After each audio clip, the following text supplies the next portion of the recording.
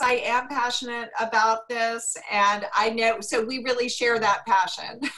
I think everybody in the room really shares that passion for, uh, you know, STEM outreach, for volunteering, um, for uh, service learning, and all of the things that that you are doing so well in this Viterbi Impact program. Um, I'm really impressed with the program. I, I must admit, I wasn't completely aware of it. Um, although I do work with many student orgs, um, I wasn't completely aware of it, and I'm so glad to know more about it and to be able to contribute here and and to be a to be a part of it. So. Um, yeah, thank you. Uh, thank you also to VASE. Thank you to the K through 12 STEM Center, all good friends of mine, and and Myra for that kind intro and especially to the students gathered here. I'm trying to catch everybody's name. I would love to meet everybody personally um, today, but thank you for everything that you are doing. Um, and I just want to really really come on strong with that with that gratitude because it it is uh, such a obviously we know such an unusual situation and such an unusual time. I do think it's has a lot of benefits, and I'll be talking a little bit more about why I think that and how I can maybe share that with you. Um, but in the, in the virtual environment and and and how you're extending yourselves and continuing to extend yourselves and really uh, stretching um, in that is, is, just remarkable and and you really are kind of the standard bearers of who we are here at the Viterbi School and you represent us just incredibly well. So thank you. Um, thank you all. All right, so I am going to talk a little bit about how to explain STEM concepts in non-STEM terms.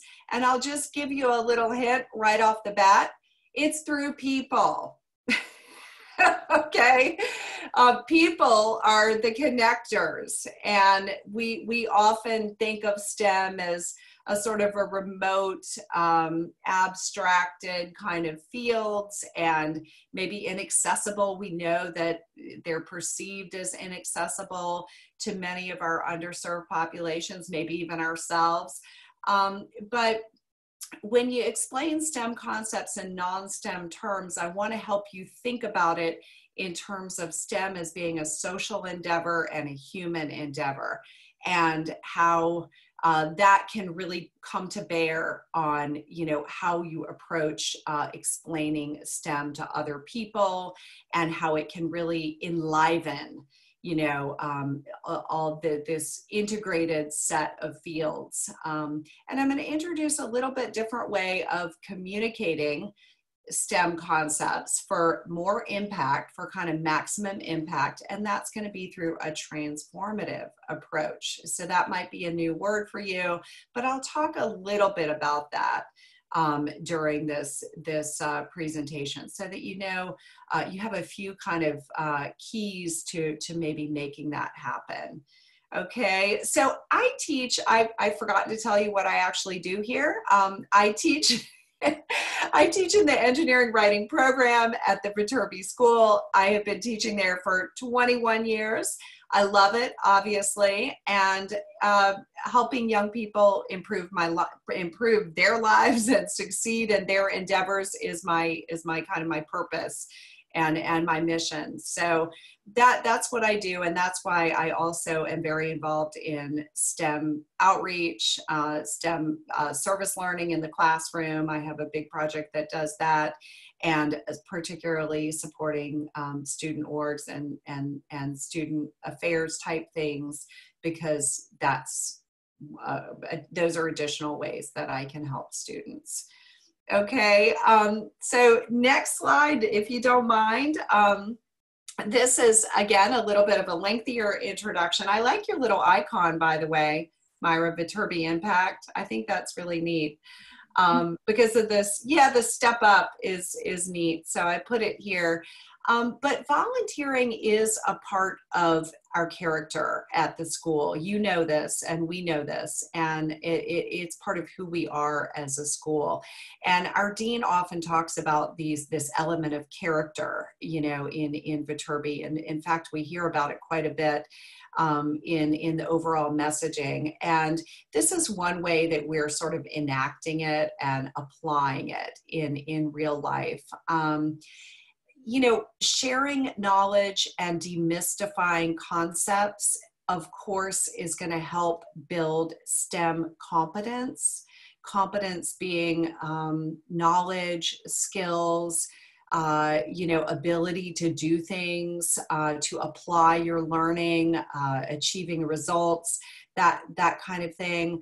Um, so we that's something that we value. Obviously, is sharing knowledge and demystifying concepts. I think it's very important to do so for non-STEM audiences. Things can can be caught up in a mystique uh, that or a, a, a sort of a mystifying kind of you know maze that that it just doesn't have to be um, it, it shared that way. Um, so with this combination of character and competence um, we do generate trust.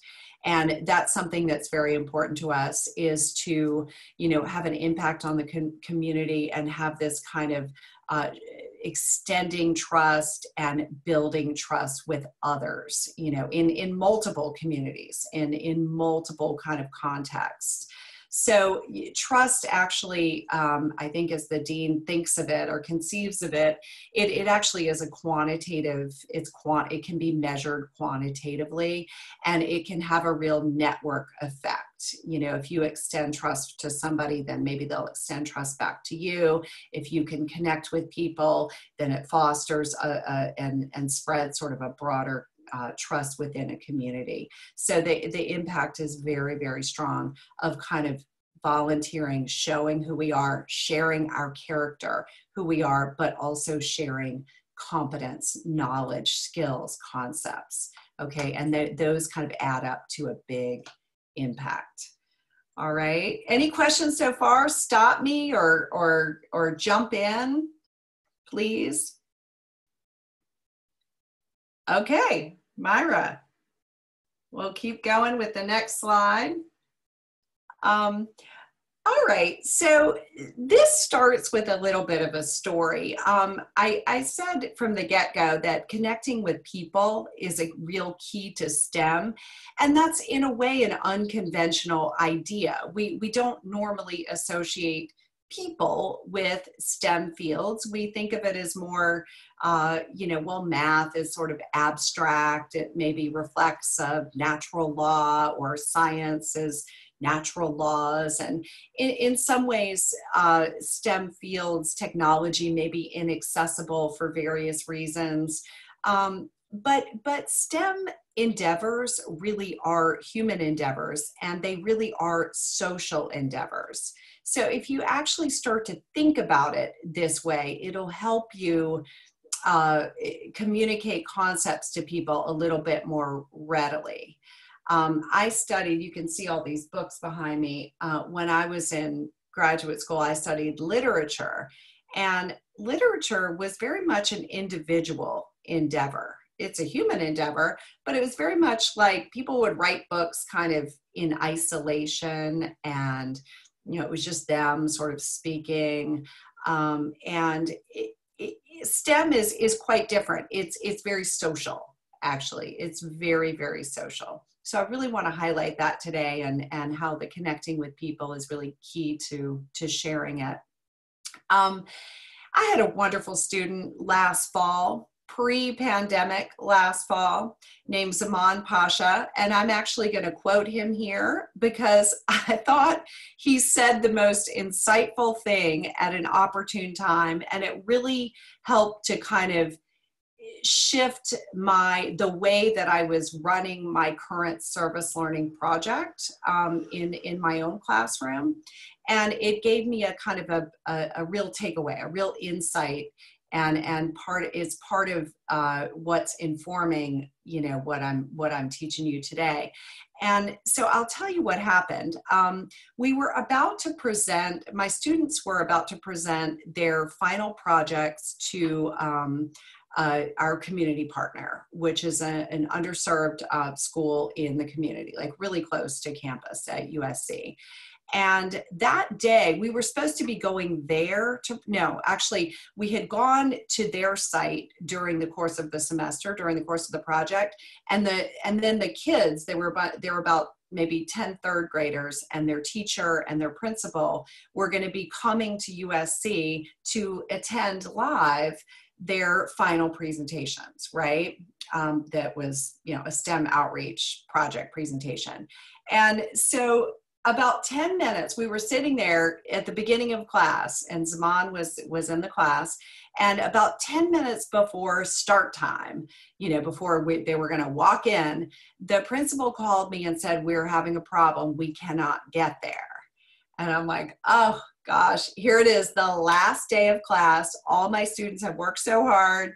You know they, i feel terrible because they're not that far, away but we're somehow disconnected. You know we're we're like stranded in this situation and i was like all is lost right? And and so um, uh, uh, one of my engineering students zaman said wait a second wait a second. Professor weiss it, people just want to connect and I'm like, what? At that point, just open to anything. I'm like, yeah, I know that. What does that have to do with the crisis that's occurring right now? And he goes, let's just Zoom with them. And so I thought, okay, I've Zoomed before, not all day, every day like we do now. but I've Zoomed before. Let me see if I can get this going. So, with my own experience on a bunch of engineering students in the room, we were able to get them up and running with Zoom and to get the whole thing set up. And my students proceeded to deliver their presentations to these young children that they were working with, they were collaborating with over Zoom. And by the end of that class, I thought, you know, this is really interesting people just want to connect you know? And my students were sort of very animated. They were very engaging. You know young people are very visual. Um, young people the younger kids and and you, people like you all used to screens being used well. And it just worked great. And i it gave me the idea that i would then start to do this final presentation over Zoom. And this was all before the pandemic. And so I've kept that with me and really tried to keep it, you know, use that, um, what Zaman said, as, as a real uh, way to connect with people virtually because it was successful in that in that situation so again, connection with others is key to learning STEM concepts. If you think about it, when you're when you are problem solving, you have to connect with others. You need a diversity of ideas. You need a lot of different points of view right? Um, if you are, uh, math is very creative. Creativity is often fostered in collaboration with others. Sometimes it's highly individuated as well, but it's usually informed by, by others. Um, you know, uh, STEM concepts generally are, are enacted in connection with others. So, in your volunteering, in your um, sort of outreach, emphasizing connection with people over content, I think is a really good strategy at this time. Okay, the virtual environment does create new opportunities for connecting communities, and sometimes just establishing that connection will open up different ways to to collaborate to create together um, to problem solve and to sort of uh, ask important questions okay think critically and and things like that All right, so connecting with people is key. Um, any questions so far? Everybody with me? All right, Myra, I'll, I'll jump to the next slide if you've got that handy. Thank you so much. All right, so this is just kind of a recap of core STEM, what we think of as STEM concepts. So I'll just reinforce those here, but scientific inquiry, um, obviously the process of science uh, uh, research, um, investigation, um, you know, finding answers. I'm sorry, I'm going to close this window, excuse me.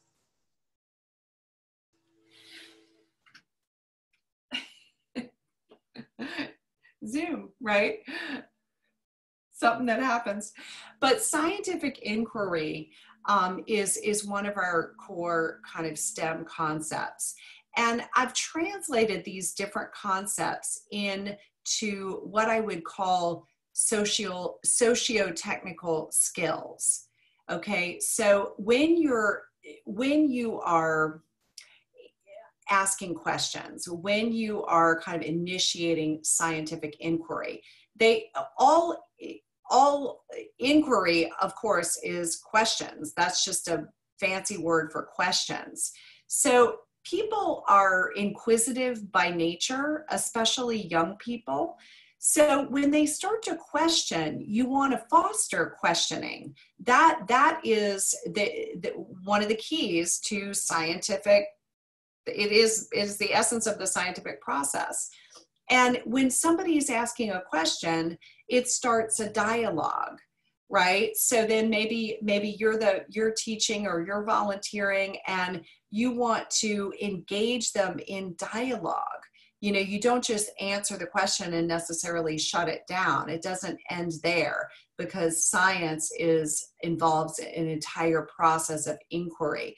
And in fact you ask a question maybe you you you make a little bit of a progress toward an answer and then another question emerges and on and on and on. And that is the scientific process.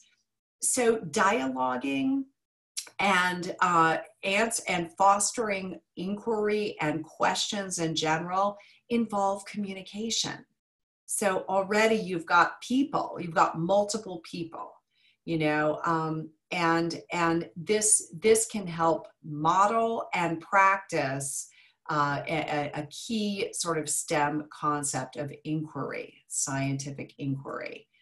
Okay, um, problem solving. Obviously, problem solving is key to STEM. We're trying to solve math problems, trying to solve, you know, even if you start to think of it in terms of uh, these gigantic sort of grand challenges type problems. They're, they're even called wicked problems.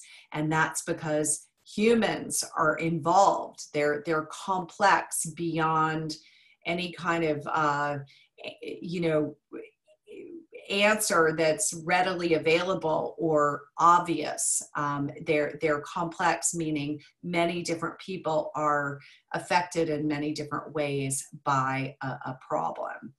Um, so problem solving absolutely calls upon the socio- social skill of collaboration or working with other people. We need a diversity of ideas. We need a diversity of perspectives we need um, uh, multiple sort of divergent thinking even multiple viewpoints because that will help us sort of together in collaboration crack you know some of these big complex problems which we we, we see uh, almost routinely. You know we we've identified them through grand challenges but we we see them routinely. They they just tend to emerge all the time and then kind of snowball. Okay mathematical thinking. Now this is a a, a super interesting concept. Um, you know um, whether you sort of excel at math early or not um, you can always acquire it you can always learn it but I'm going to teach you, a, or I'm going to share with you a couple of ways to uh, to highlight the creativity in math and mathematical thinking. And that might help some people who are struggling or who have not been exposed to STEM concepts. You know, they they they're not used to the to the to the way we talk about certain subjects and mathematical thinking may in and of itself be a remote kind of esoteric concept. So linking mathematical thinking to creativity and to art specifically, which it is, mathematical thinking is highly creative sounds strange but it but it's true um, then that might open a door for people who you know feel they are having difficulty accessing math or grasping it or you know moving forward in it which as my friend sarah and my other friends at k through 12 stem center have uh, telling me that that's a big problem. So they they have the data and they have the research to support that. So this might give you a way out in terms of uh, sharing mathematical thinking or communicating about mathematical thinking.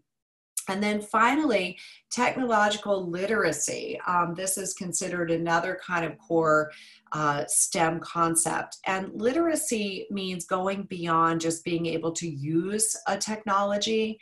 Um, I would say the difference between engineering and technology is really that technology is is is sort of a, a an instrument or a device or something material that um, has a has a purpose, a human sort of purpose or impact assigned to it you know? And so so when we when we become technologically literate we're not just learning how to use something that somebody else has made.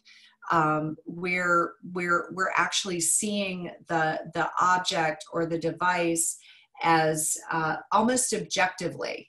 You know, I use I use the term critical thinking here because that's the the social or tech socio-technical skill. That's what it's called. But I think of it more as thinking objectively. You know, being able to look at something and say, how am I interacting with this? Like, how is this impacting my life? Um, you know how is it maybe impacting other people's lives differently than it's impacting mine? And you start to look at it almost like like you would a, a, an object of art or a sculpture you know where you're you're you're not necessarily criticizing it because there's no reason to criticize it. You're just looking at it objectively and you have that perspective on it. Okay? So th- these are just ways of thinking of our these core concepts but thinking of them in terms of people and how we're interacting with people all the time through STEM. Okay, through communication, collaboration, creativity, and, and critical thinking. We're doing that socially, we're doing that in concert with other people. And that's something that is very special about, about STEM. Okay, any questions so far? Is this making sense, folks? All right, all right, good. Thank you, Myra. Yeah, I'll take the next one. So I want to introduce a little bit of a different way of thinking about this, and I'm just going to touch on it. But I'm what I'm giving you here is a transformative approach to STEM, to communicating STEM, to uh, explaining STEM, to sharing STEM. Um, we all know because you're in the field, and we know because we're in the field too, that STEM learning can literally transform lives and uh, career paths or trajectories. Um, it's it's our belief that it's for the better, um, but this is obviously also a um, sort of a social and an economic mandate. We've had a lot of effort put into STEM learning and education for the last decade or two. It's been a high priority um, because we sort of as a as a group um, i think most countries in the world feel this way um, that stem learning can really um, affect our overall society for the better and can transform individual people's lives so, service learning and volunteering, you all know this because you're out there doing it. um, it's that it can give you a life transformative experience. So what I mean by transformative is it has impact beyond the the kind of obvious, um, you know, I felt fulfilled that I did that or I felt satisfied. It can set up a a kind of um, um, uh, multiple uh, I'll use that that uh, expression network effects again, but it can set up sort of multiple out multiple benefits and outcomes for for you and for the people that you are interacting with. Okay, that's what it means when something is transformative. It's it sort of changes the nature of it. Okay, changes the nature of it. Um, so, transformative learning experiences improve well being, and these are three sort of key aspects of well being, and this has been identified in many sources. The one that I'm uh, have used here is the Coalition for Life Transformative Education. Okay, I can make that link live for you all when I send Myra the the the final PowerPoint. But three key aspects of well-being are identity purpose and agency. Okay so identity is just a sense of who you are um, and your place in the world. That's what they we mean by identity purpose is sort of the why you know why you're doing what you're doing. It, you you want to always have a larger purpose. I'm volunteering because i want to uh, impact people's lives you know for the better. Um, that or or maybe i want to fulfill you know my my um, desire to connect with people or something like that. You always have some kind of why behind your action and when you have purpose behind your action it it you this is incredibly helpful in life. It's incredibly inspiring and you you're motivated. You know it keeps it keeps you kind of keeps your motivation sustained and sustainable. It's you have a sense of purpose. And this is a real key to well-being. And then finally agency agency is is a little bit of it sounds a little bit of a, a more difficult term but it basically just means the ca- capacity to act almost like upon your own free will like to be able to make choices and to be able to make choices independently um, or independent of certain structural constraints. And by structural constraints i mean things like that we struggle with with with people that we're helping and people that we're volunteering that they struggle with.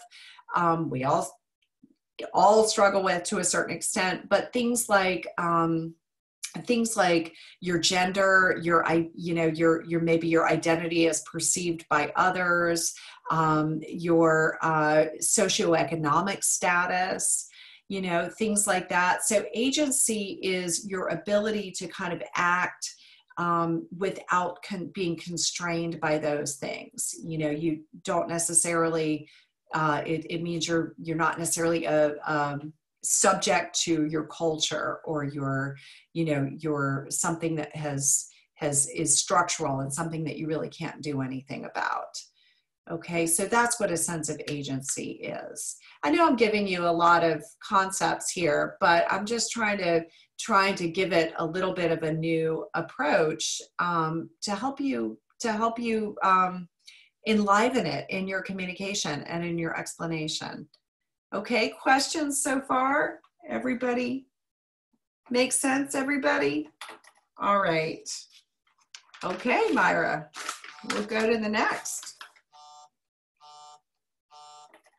All right, so I've applied it here specifically to generating STEM identity, which is something that Sarah Thomas taught me about and something I more or less knew to be true, but have have discovered a lot of research about building STEM identity in people who have not been exposed to to STEM concepts before, um, and this is again to tie into this sense of well-being which is which um, identity and um, purpose and agency are integral to so as humans we are natural problem solvers that's what we're engaged in a lot of our time And young people are particularly curious and inquisitive. We know this, right? You're very inquisitive.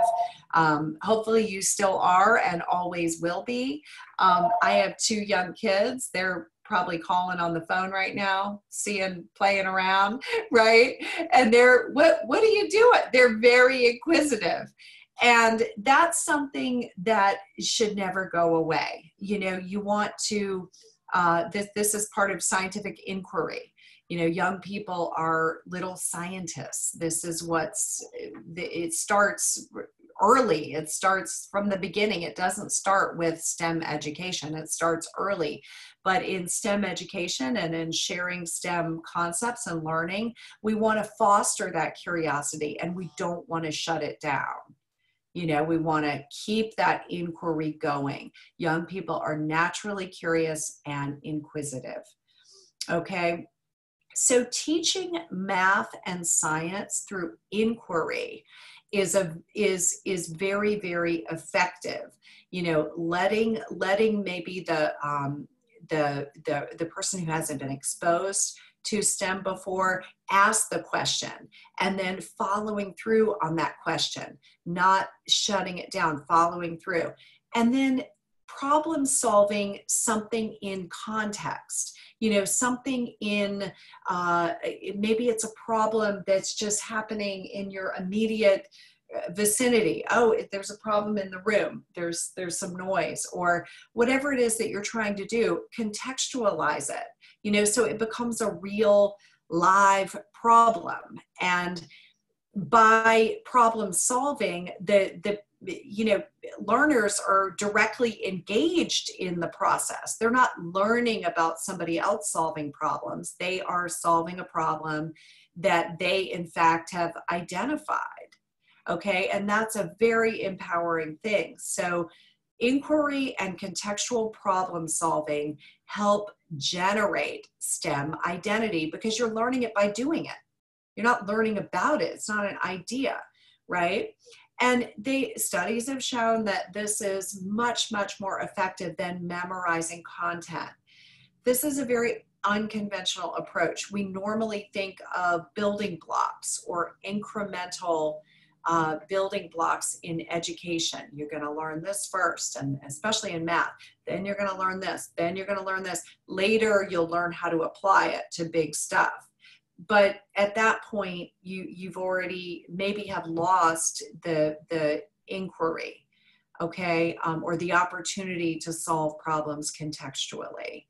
Um, so it's something to just keep in mind in terms of people growing, built, being able to grow STEM identity students can learn like scientists and mathematicians by asking questions and actively engaging in the design process.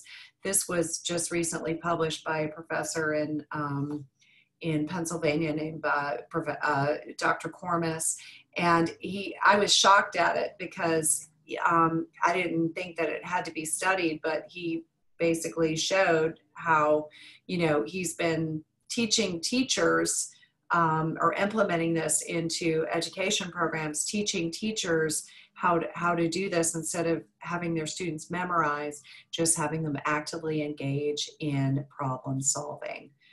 Okay, and in the design process. That's just designing a solution. Okay, that's that's what that means. And placing students in these roles and having them stay in those roles grows their STEM identity because they're not adopting somebody else's role. They're not seeing somebody else play the role. They are playing the role themselves and they learn by doing. All right, makes sense, everybody? Thank you, Myra. I want to show you all a great exemplar of somebody who is doing this. So he is one of our very own alums. And have you all heard of Mark Rober? have you seen his YouTube channel or have you have you watched any of his his shows? Okay, you you all have got to check this out. If if I had a longer workshop today, we would sit here and watch Squirrel Ninja Obstacle Course and, and laugh about it. Okay, but this guy, I'm not surprised. He's a great guy. He's came from USC Viterbi. He went, he got a master's degree here, and he does the. He, he's a huge following, and so this is how he teed up. I think this is so fascinating. That's why I put it at the top of the top of the slide here. This is how he teed up this episode, Squirrel Ninja Obstacle Course. Squirrel, and literally, this is in his words. Squirrels were stealing my bird seed. Okay, that's the problem. Squirrels were stealing my bird seed. That's just a real problem, right? Everyday life. So I solved the problem through mechanical engineering. Okay, so it's so interesting because we don't really know how he's going to solve the problem. It's we don't really know that. And it's actually unclear during the course of the video whether he is going to be able to solve the problem or not. You know he's not lecturing about it. He's he's learning by doing. He doesn't know the answer himself but he's showing the learning process. So he begins each this is kind of i've watched a bunch of the episodes. My my kids have caught on to him and he's a real he, they're real fans in the house. But he he begins each episode i've kind of broken it down for you with an everyday problem that has no clear solution. It's very contextual you know it's something that's going on in his particular uh, green space. It, it's something that i mean maybe we don't have squirrels like this. He lives somewhere in the midwest. Maybe we don't have squirrels like this in california. I mean you know it's very contextual very specific and there's no obvious solution. There's no clear solution. As a matter of fact he spends about a third of each episode carving out the problem more specifically so the problem isn't just the squirrels are eating the bird food. The problem becomes I tried this from Amazon. It said it was squirrel proof. It didn't work. This is why it didn't work. And it goes on and on and on. So about a third of each episode is actually is occupied with inquiry. You know, what what is the problem? Like we're just trying to get a handle on the problem itself, right? Then each episode becomes essentially a learning journey you know through active problem solving. He gets his buddies and they're in a team and they just sit there maybe it's just him. A lot of times it's just him and his wife or his kids and they're just trying to figure it out you know but they're it's live and they're figuring it out. Now we know because it's episodic and because it's on a channel we know that there will be a solution at some point you know they will fix this squirrel problem. But it's much more about the process you know than it is about this is the right way to solve the squirrel problem you know because again it's a contextual problem. And so the solution becomes subordinate to the process itself. And that is the social aspect of stem you know it's it's not about giving the answer. I know the answer you don't so now i'm going to tell you. It's not about that. It's about engaging learners in the process of problem solving and then the problem solving process is their own. You know it's something that they they have engaged in. They are uh, they're knowledgeable about because they've learned it by doing it. They haven't heard about it they hear about they see mark doing it but it's it's it fosters you know them to do things too. It that's that's what he kind of inspires. Okay so the solution becomes subordinate to the process. And that will help keep inquiry alive and keep creative problem solving alive rather than just providing a solution. You see what i mean so I hope you enjoy Mark. I'll I'll leave that link live and and or you can find it and um and and you'll probably watch more than you have time for. okay. Thank you, Myra. I'll I'll take the next. All right. Inspire purpose. Okay, one of the ways that you inspire purpose is try to tap in. Now, I focus this on students, but you know, they're learners. They're just in general learners. Tap into students' motivations to cultivate a sense of purpose. You know, what is motivating people? Are they trying to uh, help others? Are they trying to um, create something new?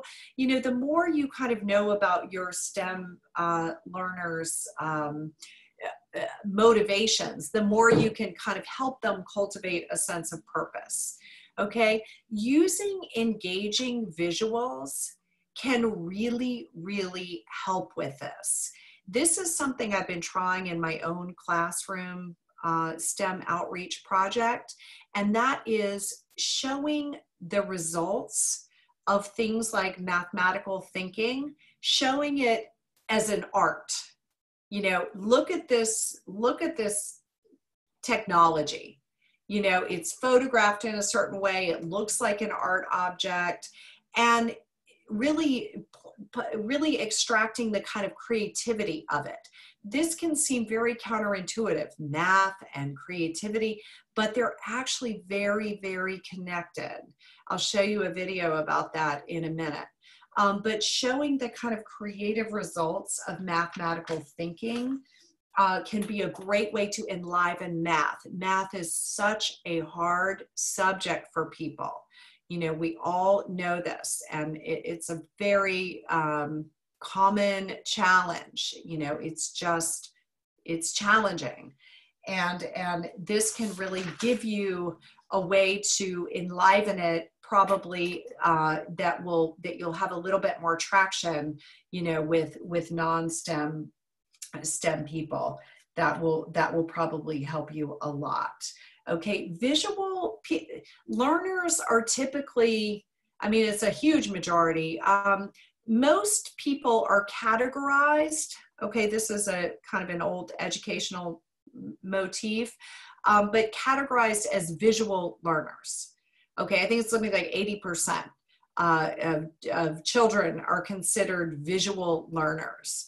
So if you can help them visualize math, then that's going to and and as a and key into the creativity about it that's gonna that's gonna really spark their interest more so probably than than other things okay um, uh, I have a I have a really funny story. A friend of mine teaches at a at a severely underserved um, public school in Virginia, and he was telling me the other day that he got a hold of a um, he he wanted his students to go he's trying to develop some kind of STEM program and he wanted his students to go to Google Earth. So, you know, Google Earth where you can move you it's like a you can use a VR. It's it's got VR capability if you have a headset, but you can also just look at it online. I don't think they even have they don't have headsets obviously, but he had them go on and visit a couple of different places around the world. Maybe it was Rio de, de Janeiro, or maybe it was um, uh, Rome or something like that. He had them visit a couple of different cities uh, via Google Earth. And um, and they one of one of them kind of came out of the um, one of the young people kind of um, you know when they when they stopped looking at it or watching it, they kind of came out and they said, "It's like as if COVID never happened." and I thought that was so funny because it was literally like the the the learners felt just transported you know in into into another world and sometimes that visual input is is so powerful um, that it can really it can really change you know people's understanding of things. And so the first question they asked when they when they stopped um, you know watching google earth or looking at it was how did i just get there? You know like how did i just visit rio de janeiro? Or how did i just go to rome? And he goes well don't worry about it. You know it's it's linear algebra but i'll just you know i'll teach you to later if you're interested. And they're like what teach us linear algebra now you know and these were really young kids and, and, who would never be learning linear algebra. You know maybe if they're lucky they'll learn it in high school. But I thought that was so interesting because he just kind of teased it a little bit and said, "Yeah, it's just it's basically just linear algebra, and um, and and that's how you get to Rome, you know, that's how you got to Rio, and um, so so the visual can be really really powerful." Okay. Um, also, the human purpose of technology. What human impact does this technology have? Young people are often very cued to think this way well, we're SpaceX is going to Mars. Well, why are we going to Mars? You know, you can almost like see the thought bubble over their head. What is the purpose of this for humanity? Like, why is this? Why is this important? You know, so having them having them understand the larger purpose of certain technologies is is re, can be really uh, impactful to their own understanding. All right, makes sense. Purpose. All right. I'm going to show you a beautiful work of art. Thank you, Myra. This is a wonderful resource, um, and I'm not sure if you all know about it or or Sarah, I even offer it to you. This is a good friend of mine, Janet Hubka. She founded uh, an organization called IllusArt, and isn't this the coolest picture? This is the coolest picture. It's called Neurons 2 and it what they do at IllusArt is they they photograph uh, they go into labs life sciences labs this one in particular was a biotech lab where scientists are studying the genetics of the brain and they capture human cells the beauty of human cells under the microscope. They do have a K through 12 program and they really focus on the art you know the art of scientific discovery. And i think she's really onto something. I think this is really important.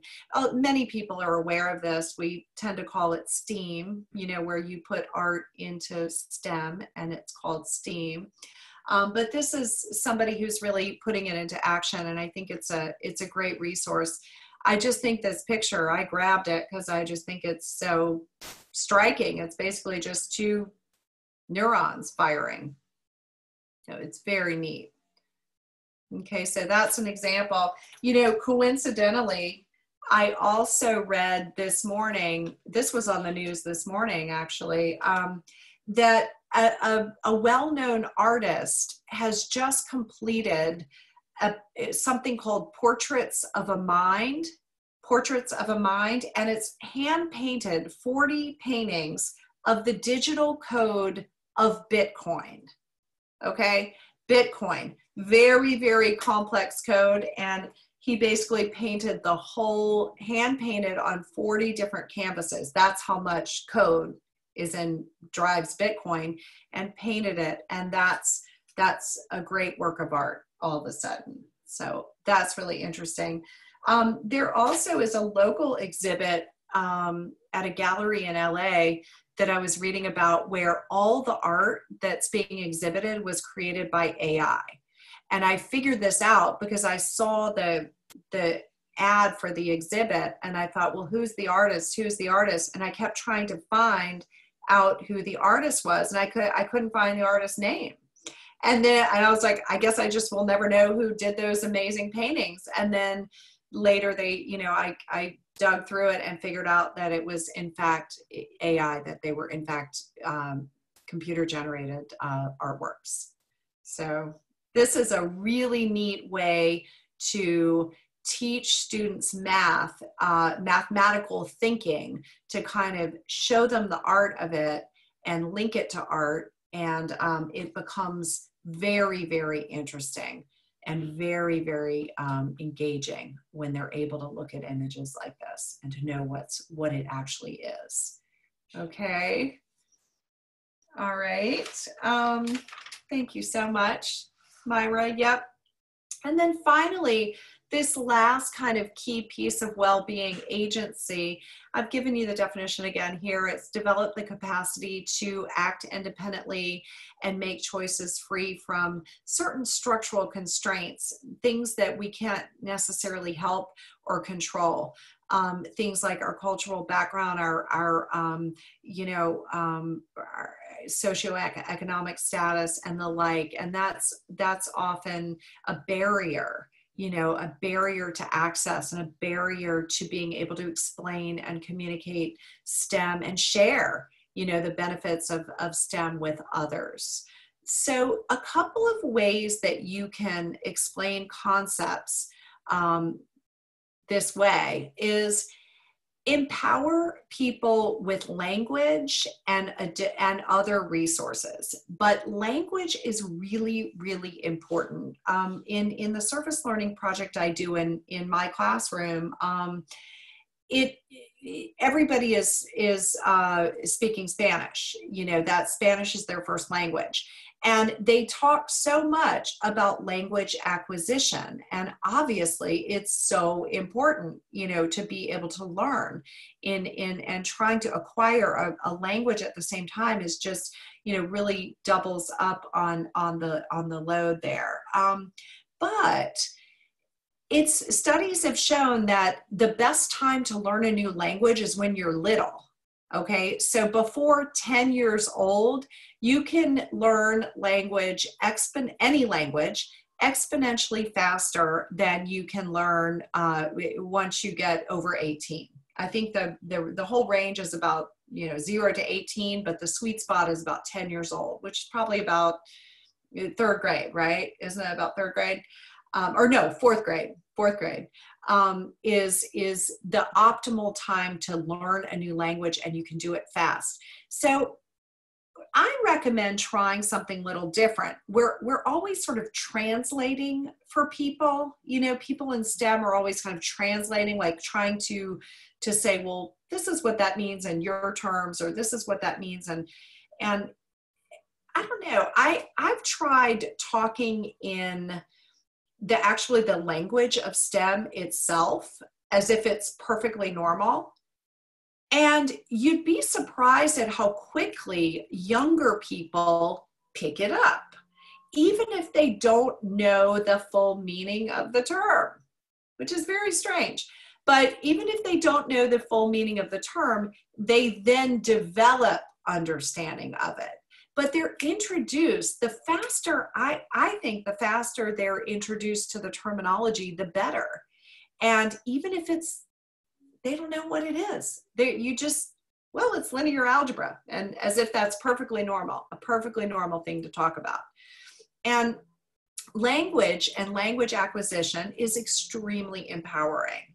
So this is just something i'm personally kind of think can work. Um, Sarah, you'll have to help me out with any research on that. But I, I think language in general is empowering, and young people are primed to acquire new language, whatever the letters are, whatever it is. Okay, and then also empowering with resources to create and, to, and shape technology, not just to consume it or use it. We want to share the broader, uh, you know, aspects of STEM and not um, not just yeah, we, we want people to, to participate in it, not just to consume technology or use it or be, you know, uh, you know, in, in that sort of passive role. We want them to actually be able to create, direct, and, and shape technology, develop it. Um, so this is, there, there are many organizations that do this. I've put a, a one up on the next slide, which you've probably heard of, um, called Curiosity Machine. But it's the, the idea there is to empower with resources that are free, you know, just low, co- uh, low cost, free resources to, to kind of engage, to, to broaden participation. Always empower technology with a human centered purpose. Never forget the human aspect of it technology is not something that's out there independent of humanity. It's obviously integral to humanity, and we need to always be aware of what its purpose is, and it needs to be human centered. Technology is a human endeavor. Okay, so that if you understand that, then things can sort of move from from there. All right. Um, and Myra, I think I've got one more. I'll show you an example of this, and I'm going to share my own service learning um, project with you here. Um, this submission of the Curiosity Machine. Are people aware of this wonderful organization, the Curiosity Machine? Okay, this can be a good resource uh, for you. And their mission is to empower children and their families. I like that they engage the whole family to become leaders and innovators of the future. So, what they're trying to do is, is really empower people to participate in and create technology. And then this is the mission of the service learning project that I have going in my own Writing 340 curriculum. And I've shared a couple of the outputs here. Uh, one of them is a slide created by three students. There's Aman, who I introduced earlier, Marion and Edgar. And they've put up a picture there of a Tesla and they've talked about the different aspects of engineering that are in that car. I can make these posters available to your group if it would be helpful, Myra, to you. And also, Sarah, I can make them available to you. These all become, I share them with the community partners that my students collaborate with during the semester, but I there it's on a YouTube channel. It can certainly be something that groups like VIP, you know, use as resources, these posters or these slides that you can share and you can use as, as teaching and learning resources. Okay. And then um, I've also put up a little video with his permission of a student, um, a, a, wonderful student, Jingyun Yang, and he here talks very eloquently about, even though he just learned the English language about two years ago, he talks so eloquently and so passionately about um, and so inspiringly about um, what sort of math and, and engineering and STEM has um, how it's impacted him and how he became interested in it and as, and developed a sustained interest um, in it and what he plans to do with that.